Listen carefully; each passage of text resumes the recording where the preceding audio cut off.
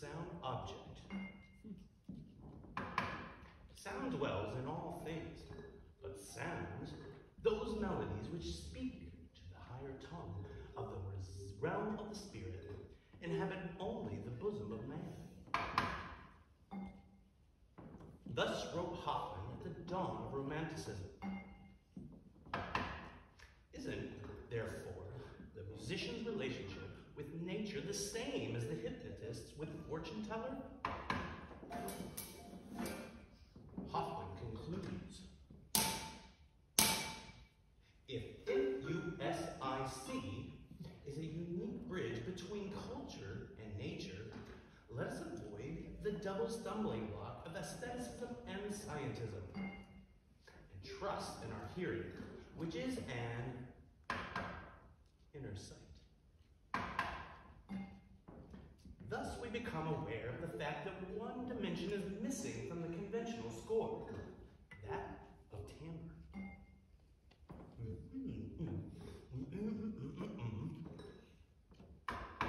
Klangfarben melody. F O L F E G E. But as to the question of timbre, Solfege's simplistic replies that a flute is identifiable by its flute-like sound. One is a little disappointed. Does S-O-L-F-E-G-E, by any chance, conceal some serious deficiency? Are we to challenge its most commonplace maxim? A half note equals two quarter notes?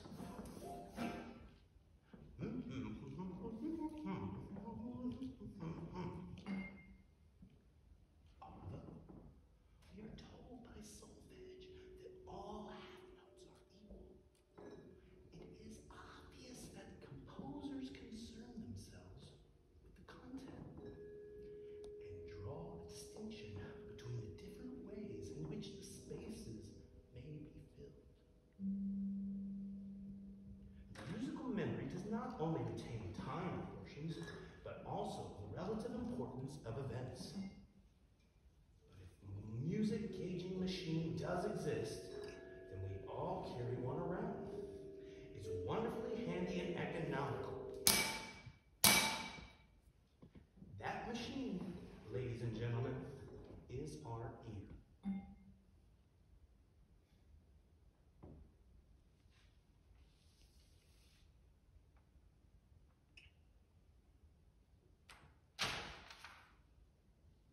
Time distortion.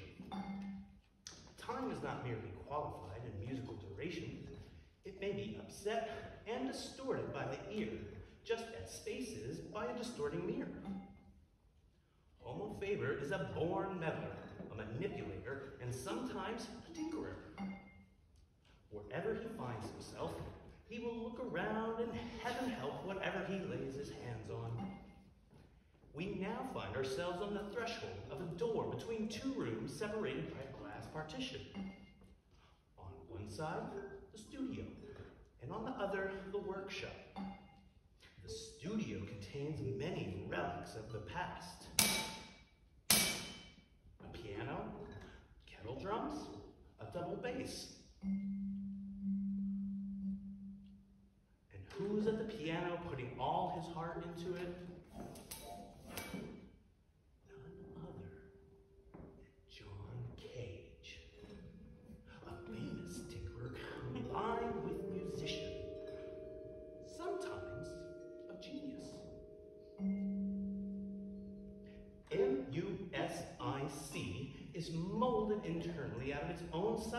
Ceaseless alternating between the whole and the part, the structure and its components.